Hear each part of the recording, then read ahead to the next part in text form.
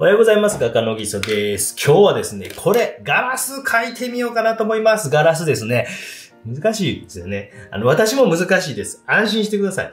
で、ちょっといくつか、あまり日頃やっていない、このマスキング液をちょっと頑張って使ってみようと思うんですけど、使い方、よかったら皆さんでうまくやっている方法、コメント欄に書いてください。これいいですよとか。ちょこちょこいただいたコメントの中で、中性洗剤、えージョイとかね、油汚れについてジョイと水混ぜてみたいな、なんか石鹸水とか、まあ水とか、もう一つなんかって書いてあったりするんですね。これちょっと読むと。えー薄めずに画面に施しますと書いてあるんですけども、えー粘度を下げるには水を少し加えてください。えー乾くと水に溶けません。筆など固まった場合はマスキングクリーナーをご使用ください。これが僕は持っていないということですね。表面剥がれやすいさ。で、まあ、なんか長時間とかあんまりこう、ほったらかしにすると良くないらしいんですけども。で、ほんと少しだけここに水を絵皿に入れておきました。で、まあ、あもうこれ写真転写しました。写真をね。写真転写しておいたんですけど。やっぱり若干こう3点透視図法的にキュッとなっていたりします。で、このマスキング液をちょっと使って、この中性洗剤と水を入れたものと、どうなんだかわからんけどやっていうからとりあえずあんまり高い筆使いたくないですけどね。もうね、ほとんど使ってないんで。よいしょ。もうちょっと水で薄めたいんですけどね。ちょっとこれ、ちょっと出しすぎましたかね。このぐらい薄めていいんかな。で、ちょっとこう、不安やから、こう、中性洗剤と、の筆を、で、今日ワトソン使ってます。この、ワトソンのナチュラルって書いてあるかな。これ、強いかどうか知らないです。弱いような気がします。で、一番のハイライト、もう生の白に近いのを少し、えー、マスキングをしておこうと。光はこっち側から来ているんですけど、このイギリス製のガラス、アンティークガラス、バイ、妻のもの、借りた。光はこっちから来てるんですけど、こっちの方にね、ギラギラギラと光ることはようありますもんね。どこや？どこや？どこや？うまくいくのかな？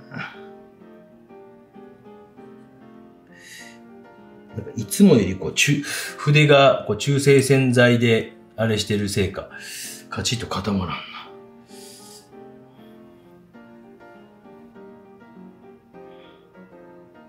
アルベインさんの YouTube ちょっと見てやり出してるんですけど、やっぱ紙がしっかりこう、えー、強いものを使用しましょうって書いてあったんで、このワトソンさんが強いかどうか、僕はすごい好きなんですけど、ちょっと自信はないですが、でガラスとかのものってやっぱ輪郭線にパチッとこう区切らんようにするってこと大事ですよ。結構皆さん輪郭をガチッと強くこう区切りすぎているので、まあちょっとね、今日見といてください。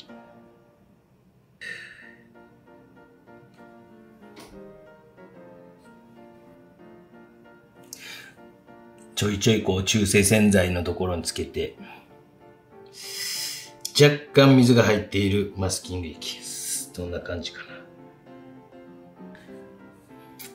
おじさんが積極的に皆さんのために失敗をするチャンネルでございます。うまくいったら、これがおすすめって書くんですけどね。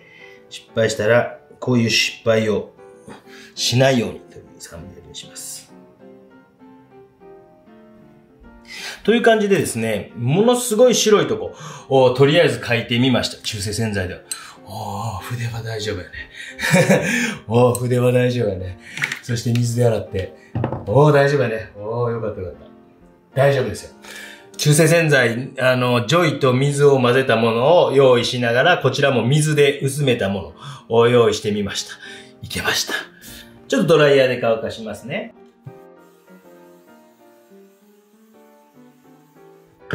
で、もう一個、これをちょっと使ってみようかなと思って、グロスバーニッシュ。まあ、いわゆるこう、ジェルメディウムみたいなものやと思いますけども、あの、グロスポリマーメディウムとか、ジェルメディウム。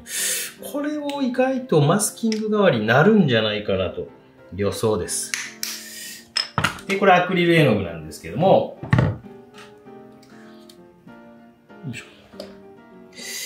これをちょっと水とかで、えー薄めながら、まあ2番目ぐらいにこう明るいとことかを少し探したりとかしながら、えー、まあ、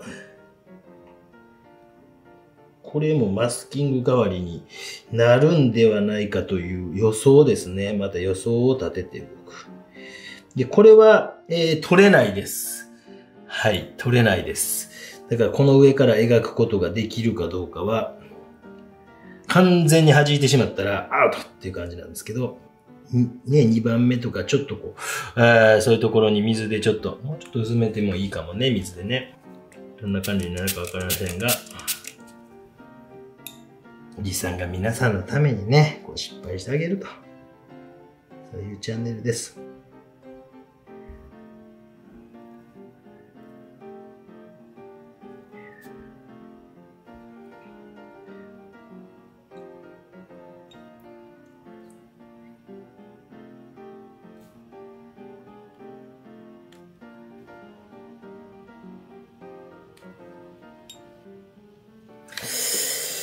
という感じで、えー、少し黄色っぽくなっているところというのが、ああの、アクリルのグロスバーニッシュを使ったところでございます。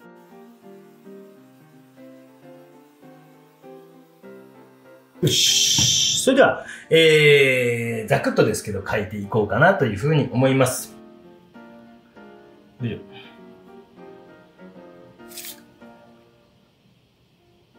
あ、めちゃくちゃ弾いた。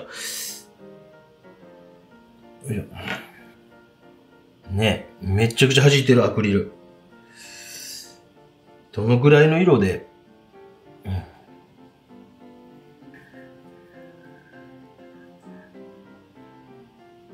もちろんマスキング液が弾くことはね、予想してましたけど、お、これは、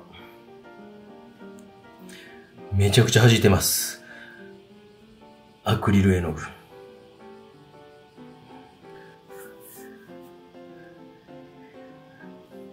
あの、弾きすぎますね。お？はじ、弾き、分かっとった場合で突っ込んではりますか？大丈夫ですか？ごめんなさいね。ここまで弾くと僕も思ってなかったので、ちょっと驚いています。完全なるこうマスキングをしたいという人には、いいかもしれないですね。でもちょっと僕も予想以上に信じてしまって、ありゃ？こりゃこうなかなかね、簡単ですよ。で、まあ手前にガラスのね、こういう口のとこがぎゅーっと前に来とるなとかっていうとこはちょっと強くしてあげたりとか、えー、あ完全に弾くな。まさかまさか。こない弾くか。少し白とかがぐっと強く見えるところとかは少し濃い色を差し込んであげたりとか、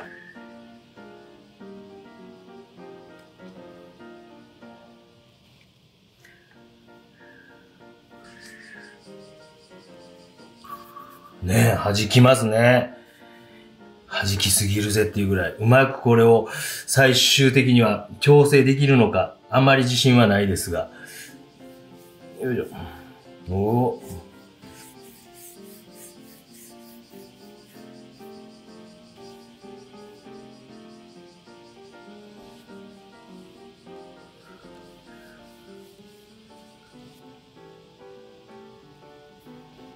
ちょっと強くね、こう、暗いところとかがあったら、そういうのを少しこう差し込んで、ね、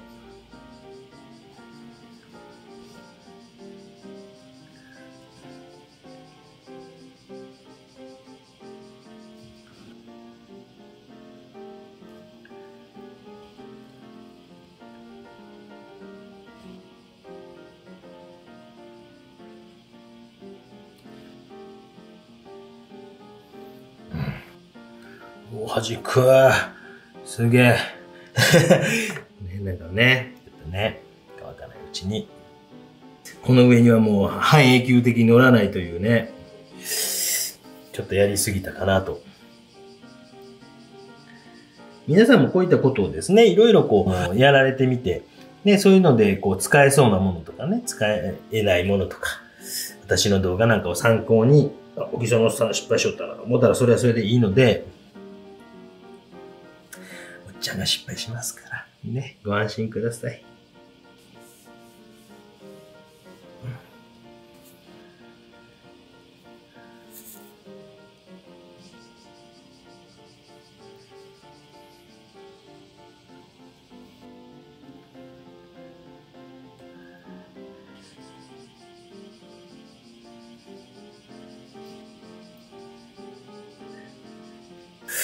この上からやってもいいかもしれないね。ちょっとやってみましょうか、せっかくやからね。成功か失敗か今わからないですけどね。ちょっととりあえず一回乾かします。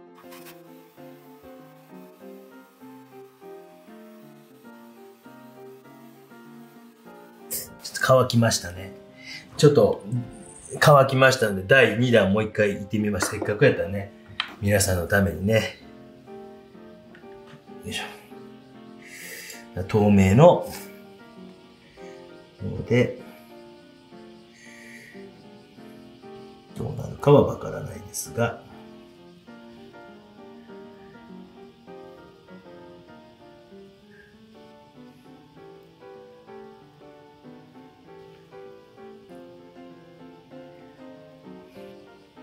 まだマスキング液は剥がしてないので、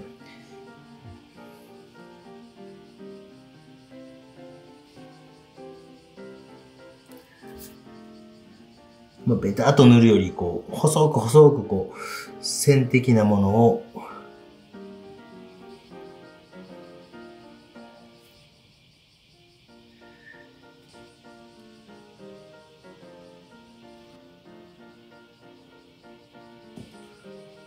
よいしょ。あんまね、やりすぎるとね、またね、ふわーっと白くなるんで、ちょっとドライヤーで乾かします。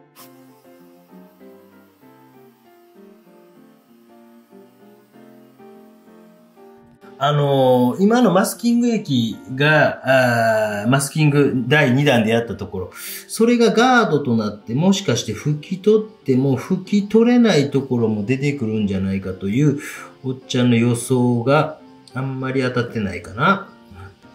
どうなのかな、うん面白いでしょ？こういう実験的なね、こともするんです。なんでもやるんです。よいしょ。視聴者の皆さんがね、できないこととかをおじちゃんがね、積極的にやると。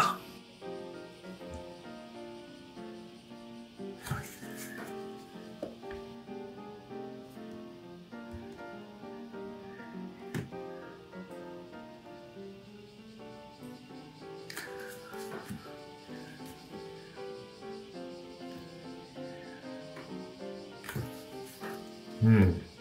まあ、正直どこに塗ったかあ、ここなんて拭き取れんから多分コーティングされてんなとかね。ちょっとわかりますね。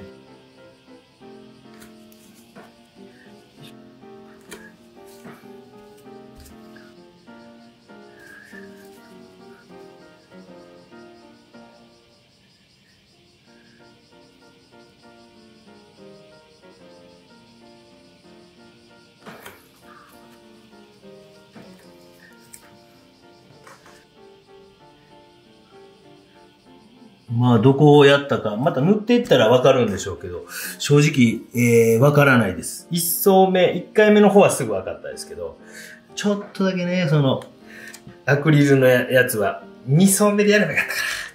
すみません。そういうミスもあります。一層目でね。では、ちょっと乾かしてからマスキング液を剥がしましょ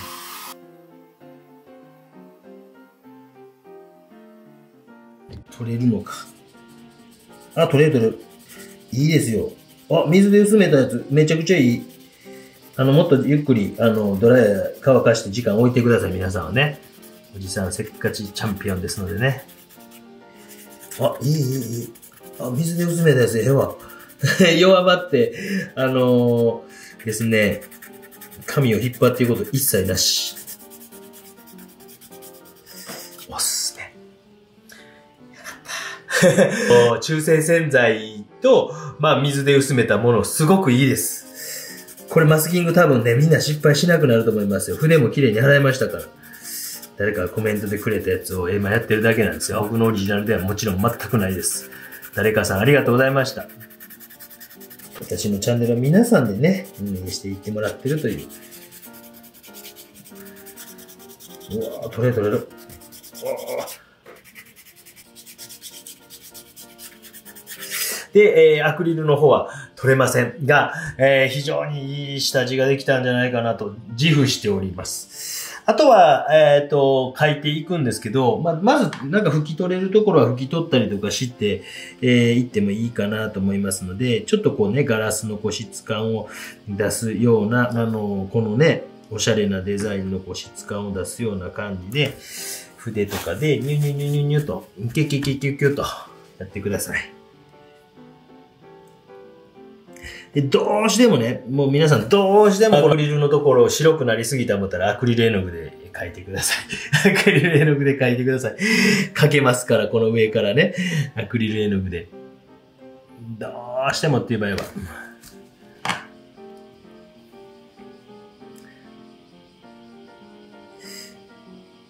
私自身はこうね、皆さんのこう特に透明水彩だけで描かれてる人にほんの少しのアクセントをなんかつけられる方、もうちょっといてもええかなと思いながら、まあそれがこうなんかこういうのにね、参考になればと思って最近よく作ってるんですよ。やっぱりこう公募展で入選はするんですけどっていうこうご意見を結構いただくんですけど、その一歩先までね、なんか行ってほしいんですよね。で、その時にこう、皆さんのちょっとしたオリジナリティのある、なんか方法みたいなのが、ほんの少し入ってきたりとかすると、行くのにな、といつもおっちゃん思ってます。で、輪郭線というのはね、もう、そんなにこう、ぎょぎょしく見せんでもええと思いますので、この辺からもすごいマスキング効いてますね。ちょっとね、あとは、少しこう、局部的にギュッギュッと引き締めるように。これはいけるんちゃうか皆さんね。もう、これ、ウルトラマリンとバーントシェンナだけで書いてますわ、ほぼ。初めの時はちょっと違う色置いたんですけど。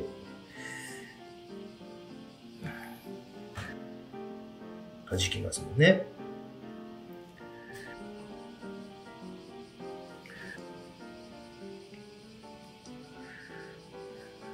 外側がぐっと強くなってるようなとことか、ね、わかりますかね輪郭のとこぐっとこう強くなってるようなとこあるんですよね。これはマスキング液やから、元から上からかけるとかね。逆にこう外側からぐっとこう強くなっている。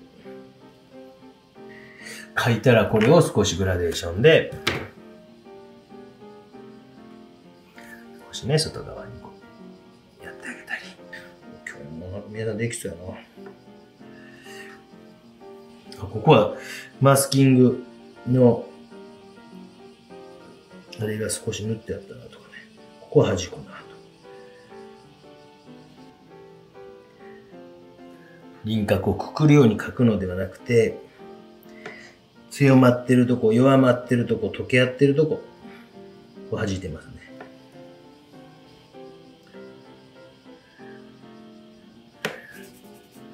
で、接地面とか先端、こういうところすごい大事なんですね。こういうところをある程度こう、しっかり書いてあげたりとかすると、他のところよりも特に緊張感持ってね、これええな、この方法ええな。ちょっとなんかね、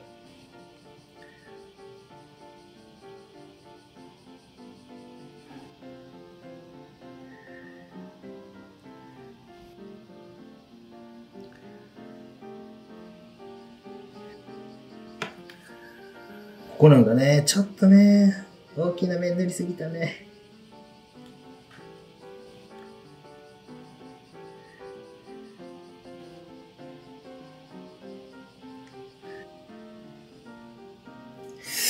とね、ここやりすぎたね。ここね。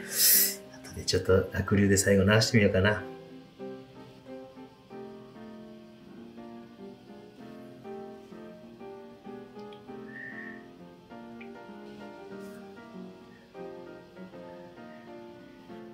うん。弾いてんね。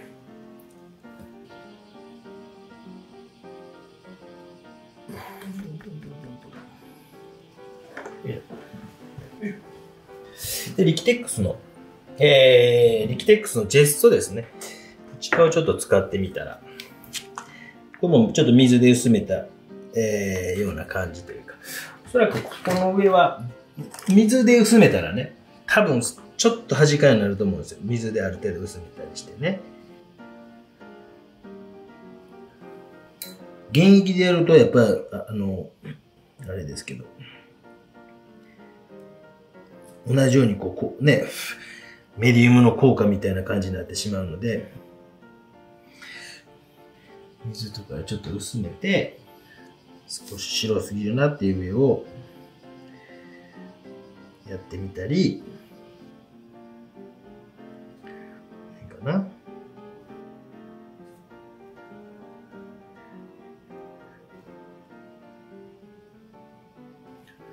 水で薄めたジェストでちょっと強すぎるなという、こう弾いている部分ね。マスキング液を剥がしたところっていうのは別にそんな問題ないと思うんですけど、ここを少し水で薄めたジェストなどで書いていくと弾かないと。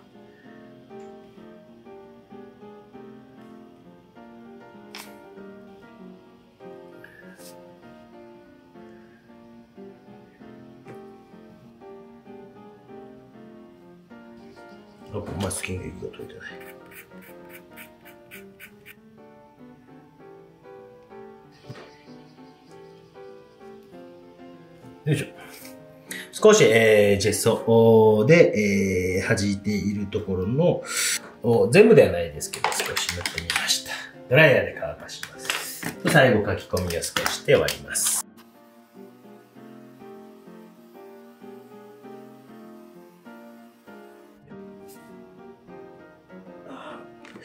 どっか乗ったところかな。あ、やっぱジェストの上行けますわ。はい。薄く塗った上やったら書けますわ、この辺とかね。よしよしよし。だから本当にこう、どうしてもここはっていうところがあれば、あ薄くジェストとかをかけてあげたら、リカバリーっていうかできました。よかったですね、皆さんね。ここは塗ってないですもんね。ここジェスト塗ってあるもんね。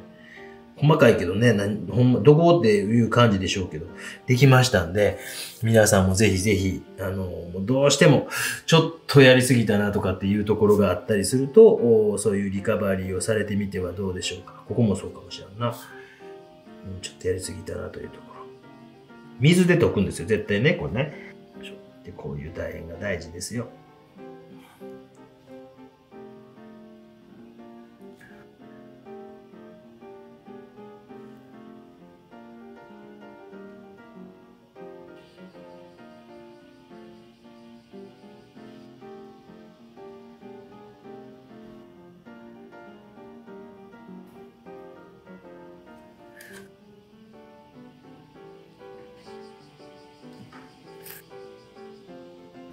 今日ね、マスキングのやり方としては、ちょっとこう、えー、イレギュラーな方法でしたけども、非常に面白い方法だったんじゃないですか。グロス、えー、マスキング液と、グロスバーニッシュ。こいつを用いて、えー、ガラス、描けるということで、えー、リカバリーをしたければ、ジェスト、水で薄めるということでございました。えー、いかがだったでしょうか僕自身は、なかなかいい、グッドグッジョブやったんちゃうかなというふうに思います。